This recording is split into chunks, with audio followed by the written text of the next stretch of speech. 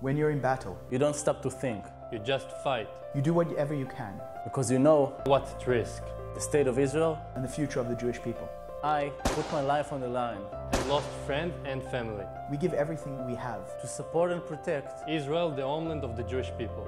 Now I ask you to stand up and be counted. For the Jewish continuity. Go to torahfromsinai.com and vote Slate 11.